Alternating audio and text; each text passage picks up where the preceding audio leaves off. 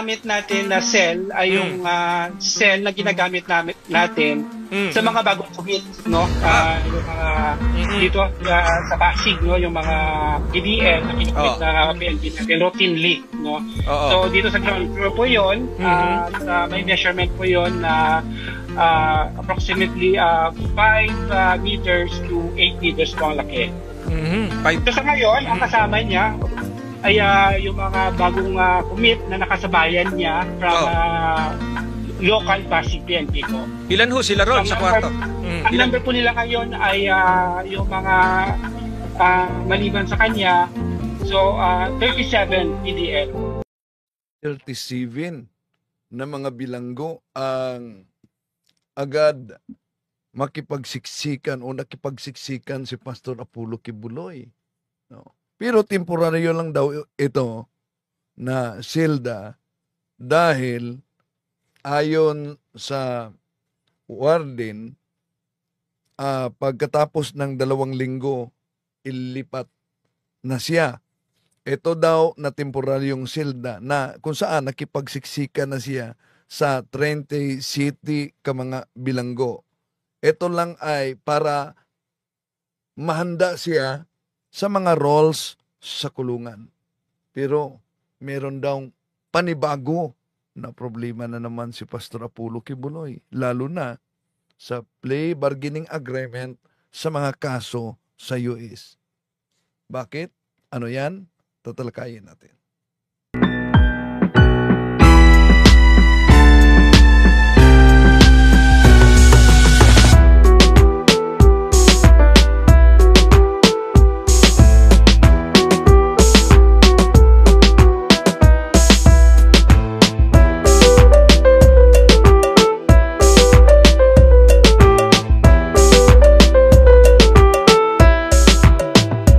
Kumusta? Muli ito yung lingkod Wendell Talimong makasama ninyo sa pagkakataong ito at inanyayahan natin ang ating mga suking taga-subaybay at sa mga bago pa lang na huwag kalimutang pindutin ang like, huwag din kalimutang mag-subscribe sa mga bago ka lang at pindutin ang bell button para updated kayo mag-comment at i-share ninyo. Kumusta sa lahat nating mga suking taga-subaybay at sa di nakapanoon sa isang maginoong talakayan no kanina no. Ang maginoong talakayan debate sa 70 Adventist. Kung saan siya mismo ang nagawa ng paksa dito si uh, Brooke Gellier.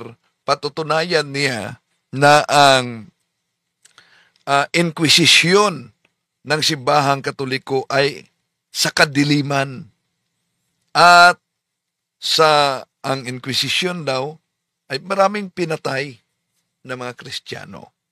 Oh, so na-uploaded na 'yan no ang video diyan, no.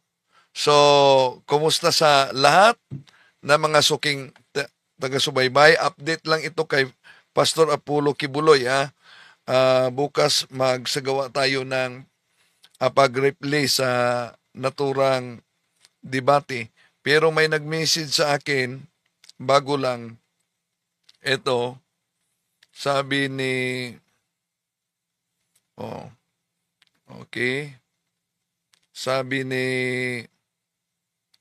isang self-T oh sabi niya acknowledge natin nagsubaybay talaga umano ito no? Sabi niya na Bro Wendell balik katoliko ako dati akong MCGI o dating daan. Naliwanagan ako sa mga vlogs mo. Kaya ako bumalik. I am 26 years sa MCGI. You save me by your vlogs, Bro Wendell. Please continue to make videos para masave natin ang mga kapatid na naligaw sa landas. Salamat sa Diyos, no? Welcome po. Hindi po ako ang ah di po ako ang nag-save. Kilos po 'yan sa Espiritu Santo tulad sa isang pulis na na pakinggan ninyo. Di ba ba?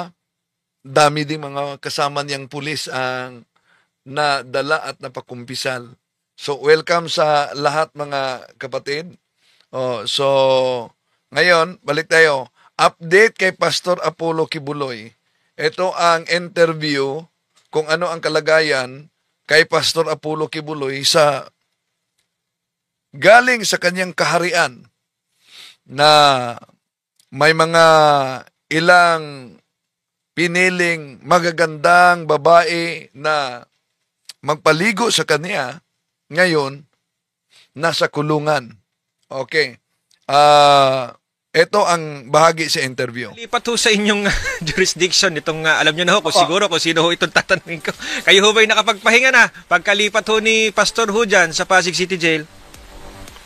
Of course, at uh, mayroong pagbabago, no? no Oo. na simulang makommit siya. Siyempre, uh, Mm. nandyan po yung security preparation na dapat nating ilatag Yan. no para mapanatili natin yung kaayusan no at uh, seguridad ng bawat isa.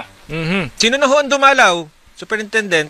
Warden? Ah, mula nung ah, 27 no yung Mm. date kung saan siya ay uh, over sa amin ng ah, PNP, Mhm. ah, yung mga dalaw pa lang no ay Pinili lang ni Pastor ah, ang dadalaw sa kanya, no?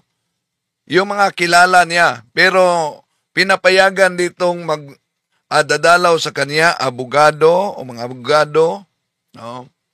Kahit pari daw o mga religious organization. Pero sabi dito, ah yung mga kakilala lang ni Pastor Apollo Kibuloy. Yung mga mandatory no o yung mga dalaw na allowed siya ay yung mga medical doctors, Okay. yung lawyers, Oo. at saka yung mga priest, no? Ah, Mhm. yung mga religious leaders na Mm-mm. may kinalaman po sa relihiyon. Yung Yung sa religious leaders, yung may kinalaman sa relihiyon, pwede makapagdalaw. Iwan ko makapunta tayo doon. Tatanggapin kaya tayo ni Kibuloy. Tuloy natin. yung ah, so far yung pwedeng dumalo sa kanya. So hindi may- nag, nag-provide ho ba siya ng listahan? Hindi ho pwedeng kung sino lang lang ho ang dumalaw, yung mga supporters niya, ganyan, mula sa KOJC?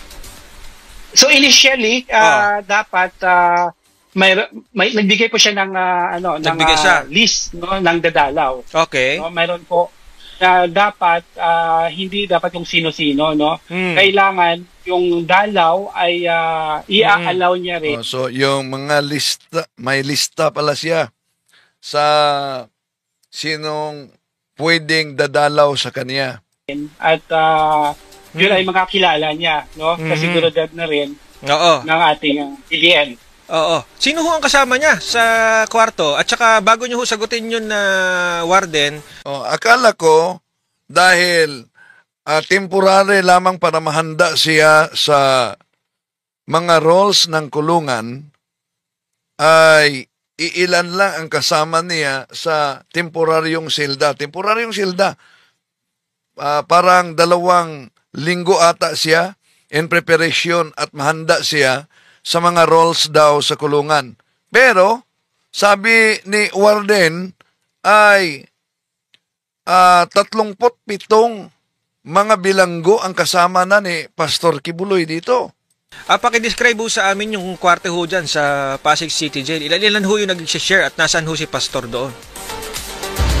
Eh, ah, yung ginamit natin na cell ay yung ah, cell na ginagamit namin, natin Mm. sa mga bagong commits, no? Ah, yung mga Mm-mm. dito ah, sa Pasig, no? Yung mga PDL na kinukomit Oh. na PNP natin routinely, no? Oo. So dito sa ground floor po 'yon Mhm. at ah, may measurement po 'yon na ah, approximately 5 meters to 8 meters po ang laki.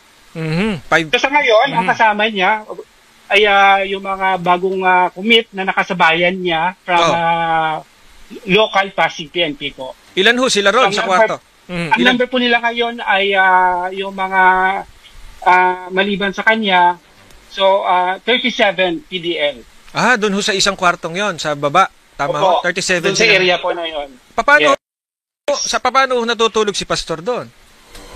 Yun, makatulog kaya si Pastor ah, Kibuloy nito? Ah, mayroon po siyang ah, ah, ah, higaan no na temporary ah, 14 Mm. bed kasi yun ay adjustment cell Mhm. no habang ah, naghihintay ng ah, grace period na 2 weeks po habang Mhm. makapag-adjust siya ng mga rules and regulations policy Mhm. sa jail Mhm. bago po siya ihalo po doon sa regular at ah, general population po ng ating ah, piitan. Mm, ano-ano ho yung mga nandun sa, sa CR, ano, sa, magkaka, iisa lang ho, common, ganon. Ganoon naman po, wala pong individual po na CR yung ating facility, so common po yan. Oo. Ah, hiwalay lang po yung palikuran at saka sa paliguan po, yun ang po ang nagdi-divide. Mm-mm. Eh, kamusta naman ho siya? Ano ho ang, ah, pare-pareho ho sila ng ah, kinakain dyan eh, no? O meron ho siyang binigay na restriction?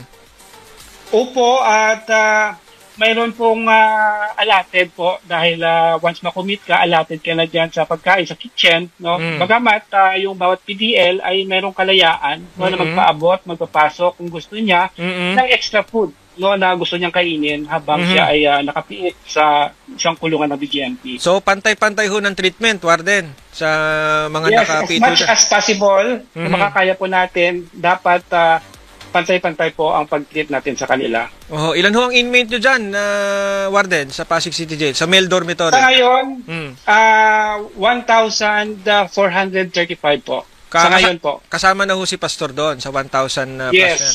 Oho. Eh, ang Opo. capacity po ng jail? Ah, ang capacity po na jail ay ah, mga ah, ano lang po, ah, 400 plus. Naku. No? Sa ngayon may congestion rate po tayo na 474% congested po yung ating ah, piitan po. Mhm. Pero sa ngayon naman po, eh, kamusta ho ang ah, vicinity o yung la- sa labas ho ng Pasig City Jail? May mga supporters ho bang nandyan sa labas? O normal naman? Sa ngayon, na normal po yung ah, Okay. ating ah, kondisyon, dit- Mm. lalong-lalo na dito sa paligid. Oh. Mhm. Okay. Normal lang po. Alright. Eh, Warden, to uh, wrap up po dito, ipaalala ho ulit. Doon na kamukha ho ng pinag-usapan natin nung una. Ah, warning ho ulit. At saka doon naman sa mga supporters ni Pastor, eh, kung gusto ho nilang puntahan, eh, paalala rin ho natin na meron lang hong listahan na pin- pinrovide si Pastor. Go ahead po, Warden. Thank you, Jeff. Ah, sa lahat po no na mga ah, minamahal na big visitors, no, ah, wag na po kayong magtangka no na magpapasok no ng mga contraband no sa ating kulungan. Kasi ah, ito sana ay ah, maging lugar no ng mga mahal natin sa buhay kung saan ah, mabigyan natin sila ng pagkakataon na ma-rehabilitate no para pag nakabalik sila no sa community ay ah, sila ay maging maayos muli no na mamamayan ng ating society no? At doon naman po sa mga supporters no ng QOJC kay ah, ah, Pastor Kibuloy no? Ah mayroon po tayong master list na binigay sa kanya na authorized lang magdalaw no? Pero sa ngayon ah, ang pwede lang makadalaw sa kanya ay yung mga ah, doctors ah, lawyers and priests no? Ah, sa pagbigay daan no? Sa kanyang adjustment period na Okay, yon ang sabi ng warden. Pero ah, bago diyan mga kapatid, bago natin ah, i parinig si Attorney Claire Casto sa bagong problema na naman. Ito'y kaugnay sa ah, pre-bargaining agreement sa kaso niya doon sa Nikibuloy sa US. Babasahin muna natin itong komento. No, si Engineer Roda, Katagis bro, Windel, bakit ka ba galit ni kay Kibuloy? Hindi naman tayo galit di Kibuloy. At bilang media, ah una, dapat malaman natin ang update kay Pastor Apollo Kibuloy kung wala bang special treatment. Pangalawa, sinagot na natin paulit-ulit yung paulit-ulit na tira ni Pastor Apollo Kibuloy kaugnay sa Trinity, kaugnay sa ah, secret images na mga banat at biyera niya sa simbahang katoliko. Dapat talaga sagutin natin at ilantad dahil ang daming mga inosente na natangay nitong self-proclaimed appointed son of God na nagmula sa Davao. O di po ba napansin ninyo? Pag si Kibuloy ay nagiging ah, tinatawag na sp- spiritual director ng presidente, okay lang. Di ba ba? Lalo na sa mga DDS.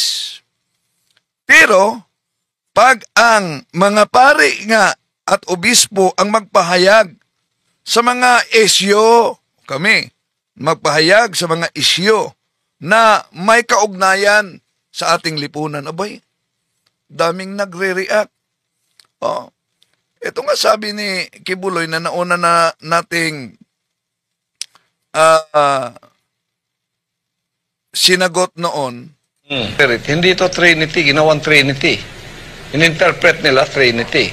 Sinabi niya, bautismo ninyo sa pangalan ng Ama, ng Anak, ng At Espiritu. dahil dito sa banat na banat ni Pastor Apollo Kibuloy, na dami namang mga kaibigan niyang mga politiko at ngayon tumatakbo pa ng uh, pagka-senador, kaya nga ang tanong, kung ang pagiging appointed son of God ay pwede lang parang gawing self-proclamation, iba di na lang niya mag self-proclaim, no? Sa uh, pagiging senador. Ayon kay Rod uh, Cartahis, katoliko daw siya, no? PPC pa nga, members. Ang daming mga miyembro ni Kibuloy ng magpakilalang katoliko. oh. So, pangit na komento sa atin, bro. O, ano? Uh, lahat na ibang sikta at may pangit na komento sa atin, bro. Pero, tingnan mo, sumama sila sa atin. Ano sumama sila sa atin? Hmm. Okay. So, ito ang pahayag ni Attorney Claire Castro sa bagong problema na naman ito. Madami na talaga ang uh, tinuturo, di ba? Ang pinaka-leader ng KOJC. Ayan, oh. Ito yung una, oh. Si Maria De Leon, actually, una to talaga. Oh, last year pa eh. Na umamin na nag-a-arrange ng fake documents for KOJC members to obtain legal status in America. Umamin na to, nag-plea bargaining na rin to. Isa to. Actually, pangalawa siya, may nauna pa eh. And it was followed by Marisa Duenas. Ito yung sasabi ko sa inyo, di ba? O sino ba si Marisa Duenas? Kay Pastor Kibuloy. Okay, pakita ko sa inyo. Okay? O. Share natin. So, para makita natin kung ano yung papel, gaano siya kalapit, gaano siya Anong papel niya? Ayan, no? Marisa Duenas, one of the long-trusted administrators of the Kingdom of Jesus Christ. Long-trusted administrators, oh. Diba? Has agreed to plead, to, ple- to plead guilty to charges that she conspired. Oh, she conspired.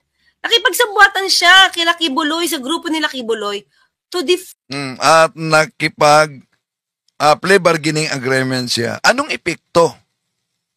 Lalo na kay Pastor Apollo Kibuloy sa plea bargaining agreement.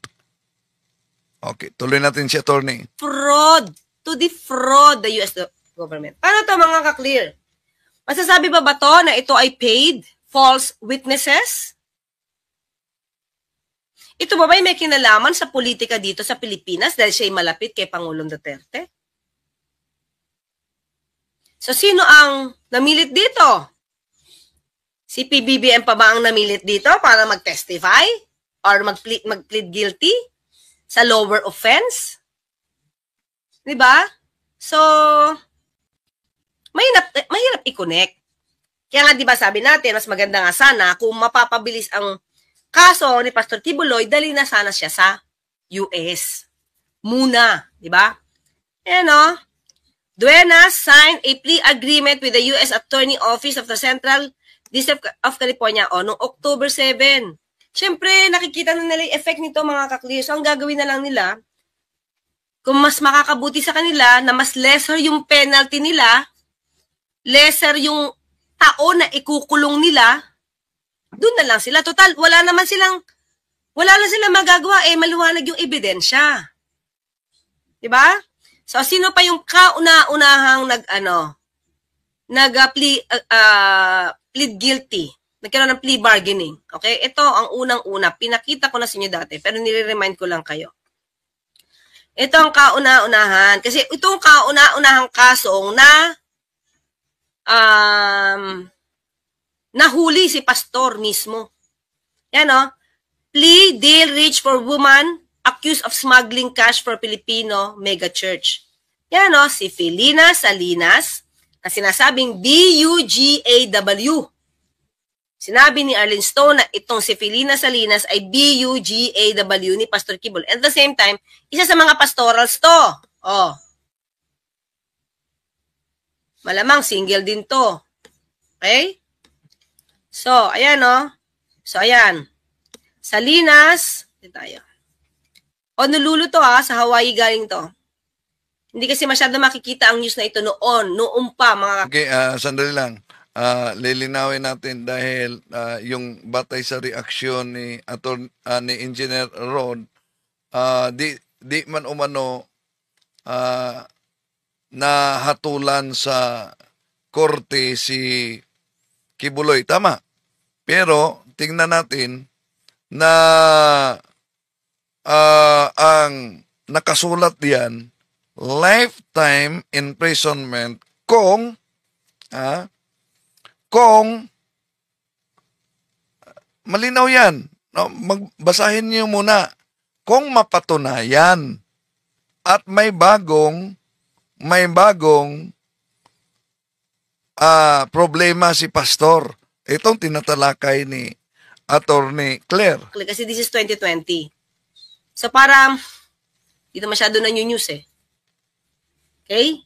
Hindi siya masyado na news kasi panahon pa to ni dating Pangulong Duterte. So dapat, uh, sinabi ko na sa inyo, may lumabas na news, pero they're celebrating for this without explaining na nag-plea bargain pala itong si Felina Salinas and at the same time ay may inamin. Hindi, hindi yun lumabas dito sa Pilipinas. Okay?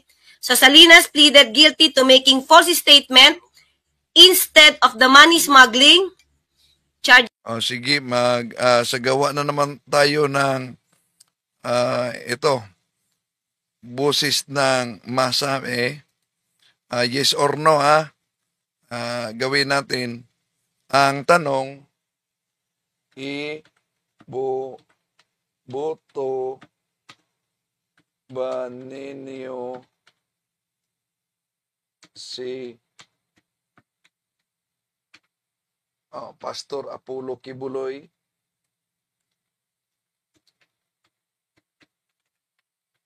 Okay. Eh, ito ang yes or no lang yan. Hmm, sige. Sandali. Yon. Uh, sa ilang bisis na boses ng masa natin, pang pito na, pang walo na ngayon, pero sa pampito natin na boses na masa, nangunguna pa ang no.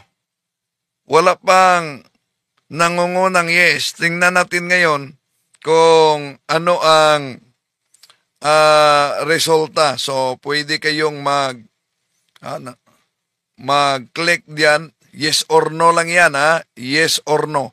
Ibubuto ba ninyo o hindi? Baka mangungunan naman ang yes dahil sa ilang ilang pagkakataon, nangunguna talaga, ah, grabe naman itong si Tirire, Tiri, Ring pa. Oh. Ibubuto pagka Mayor Silda. No. So, yes or no, nangunguna pa rin ang no, 90 93%. Baka hahabol ang yes. Oh, dahil ang dami namang supporter si Pastor Apollo Kibuloy. Tuloy natin. Yes, that she faced originally. Okay, so ang nag-plead guilty na, na siya sa false statement. Hindi na sa money smuggling. Yung may, meron kasing kaso, di ba? Sabi ko sa inyo, may kaso si Pastor Kibuloy, sila, supposed to be siya, dahil siya lang ang umako nun eh, ng uh, bulk cash smuggling. So, para nakauwi dito si Pastor Kibuloy, inako niya lahat. Di ba? Kanya daw yung maleta, pero hindi niya alam na may laman. When in fact, sabi niya, yan ah, kasi she failed to report more than 300,000, actually 350,000 to eh. dollars in cash that was in a suitcase. Nasa loob ito ng medyas. Okay? Talagang balak itago, di ba? So ngayon, the investigation revealed that the suitcase was actually Kibuloy's. And she had told his driver not to put it on the plane. So still, nandun pa rin yung pera nasa suitcase ni Kibuloy, hindi sa kanya. Salinas, ayan o, admitted lying to claim the pastor's suitcase was hers, apparently to protect him.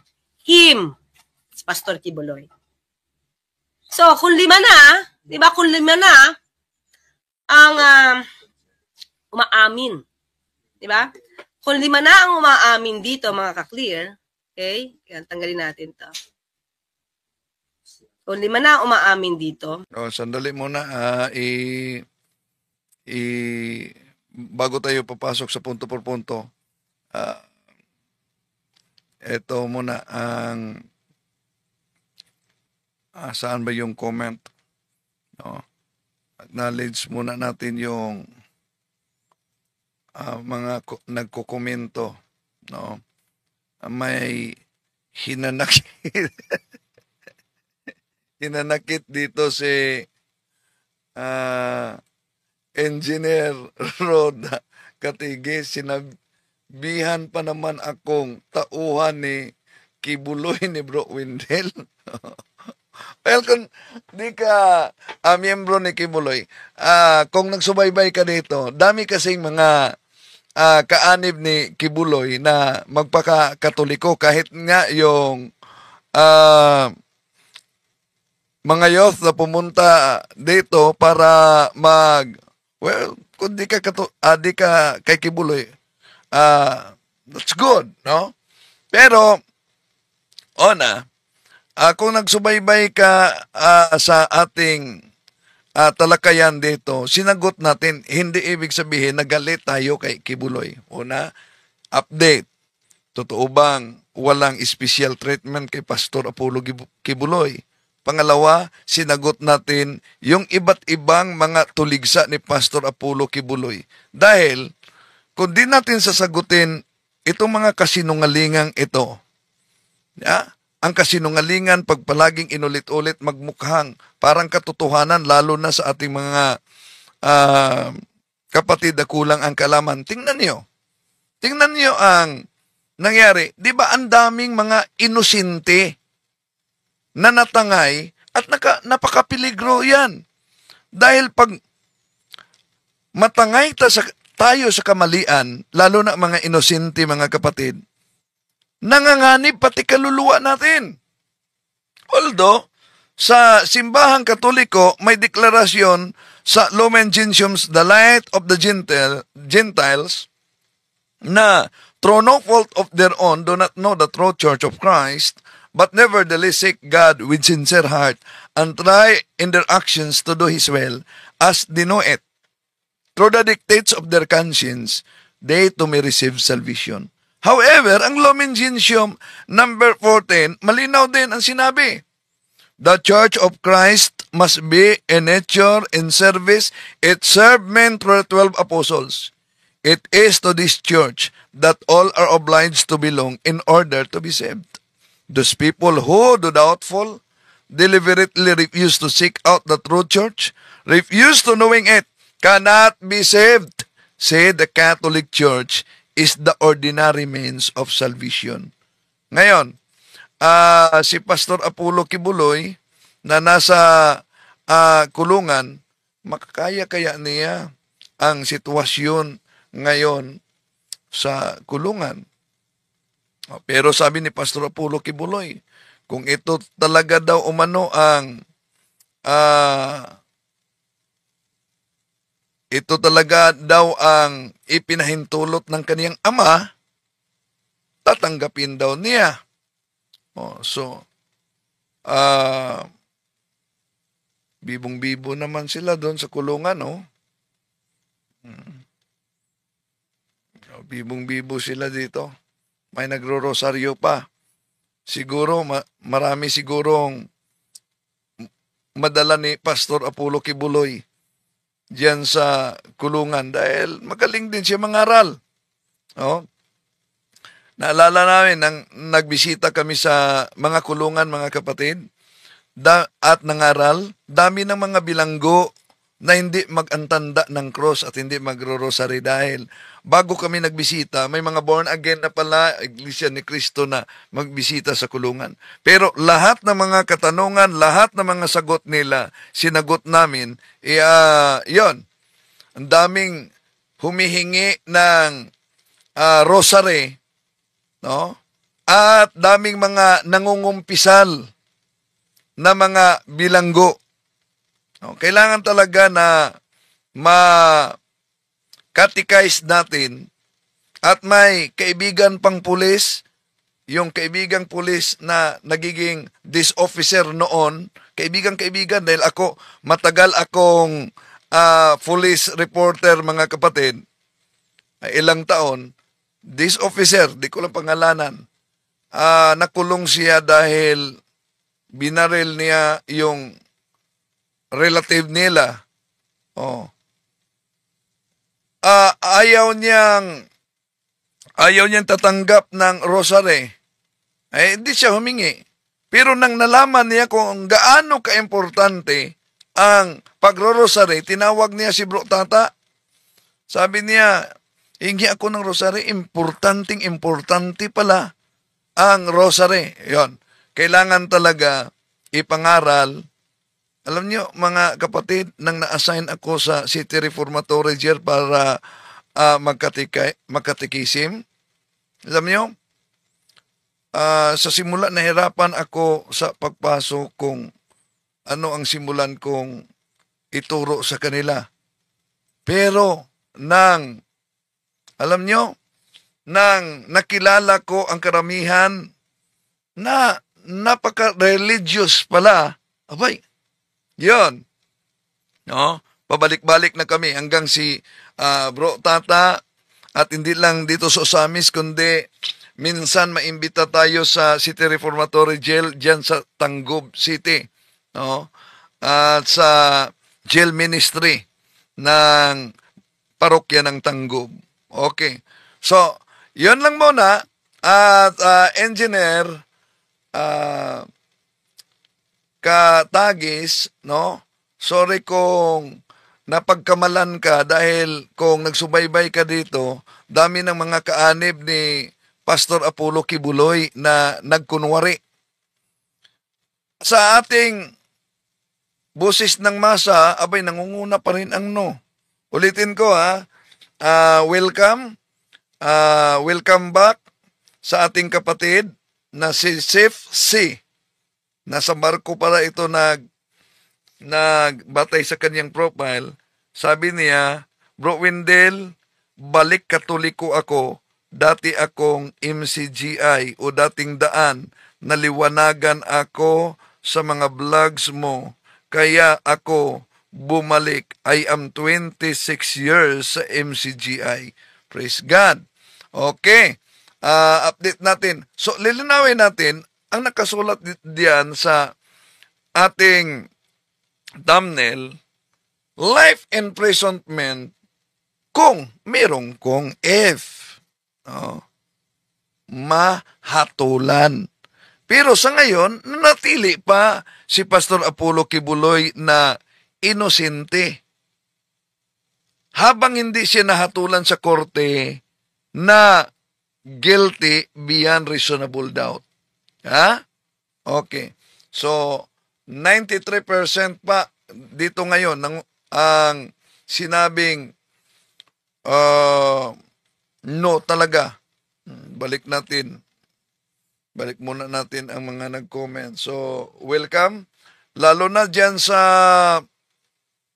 Baoko Mountain Province at may schedule din ako diyan sa Kiangan. Uh, sa Kiangan para sa Lenten Recollection. Malayo pa pero may Lenten Recollection ng schedule. To make His message known is our responsibility. So here we are to pledge our lives to the Lord